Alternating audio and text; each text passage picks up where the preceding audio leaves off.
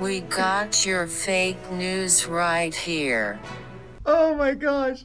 Just watch this. You have no idea. This guy, I I would I would buy him a drink. He's the guy I would just became buy a him a national drink. sensation as the world's chillest man. Sometimes you just have to stand up to punks like that. Tony Tovar just nonchalantly sat there, lighting up his cigarette as his favorite neighborhood bar was robbed. So this is your bar. This is your home bar, and you weren't going to let anybody push you around in there. Right? That's absolutely correct.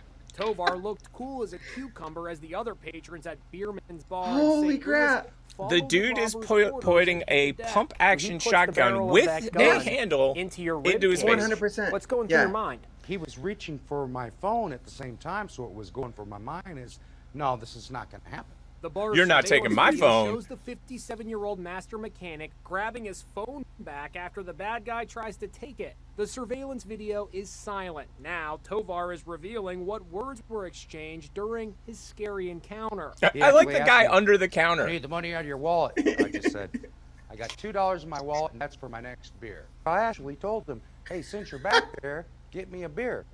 He looked at me and says, no, get your own beer. After taking money from other Of course, patrons, of course. When I'm robbing told the place, I am not going to get you no beer. register. Get it for He yourself. took all the money, 200 bucks in total. All the while, Tovar just sits there taking it all in. His advice for anyone else who finds themselves in a similar situation, don't do what he did. If you don't want to get hurt and you're not sure, comply. The bar is kind of like the bar in the classic TV sitcom Cheers. That was classic. The dude's like, nah, I'm not giving you my stuff. Nah, not happening. Dude, what Not would have made it better is Yeah. like if he told the guy, I have a certain set of skills. If you don't give me a beer. That's classic. For anybody in the audience that doesn't know what that reference is, we're not telling you. no. You're going to need a certain set of skills.